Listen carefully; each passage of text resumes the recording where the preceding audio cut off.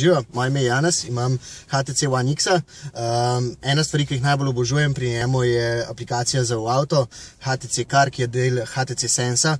Um, z njim v bistvu v avtu dostopam do najbolj pomembnih stvari: uh, telefon, navigacija, glasba, internetni radio in um, seveda tudi ura. Vreme in tako dalje. Uh, in v bistvu v tem položaju uh, je telefon res pri roki in um, zelo uporabna zadeva.